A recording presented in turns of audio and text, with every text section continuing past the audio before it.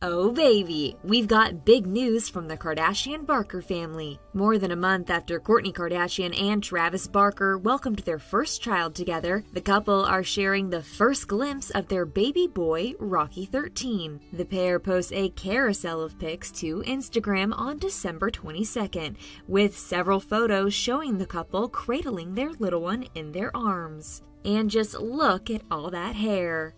In one photo, Kourtney is laying on top of Travis's lap as he carries baby Rocky. And of course, the trio is twinning in all black outfits. One snapshot shows the Poosh founder breastfeeding her son, while another adorable pic features the Blink 182 drummer kissing his baby boy. Rocky was born at Los Angeles' Cedar Sinai Medical Center on November 1st when the clock struck midnight, according to his birth certificate obtained by E! News. Kourtney first announced she was expecting back in June 2023. During a Blink 182 concert in Los Angeles, Kourtney held up a sign reading, Travis, I'm pregnant, as she stood out in the crowd.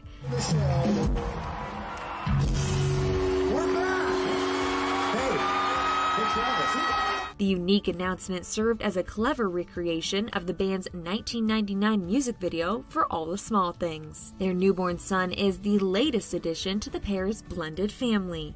44 year old Kourtney shares kids 13 year old Mason, 11 year old Penelope, and 8 year old Rain with ex Scott Disick. Meanwhile, Travis is dad to 19 year old Landon, 17 year old Alabama, and his 24 year old stepdaughter Atiana with ex Shanna Moakler. We're sending our best wishes to Court and Travis for Little Rocky's first holiday season.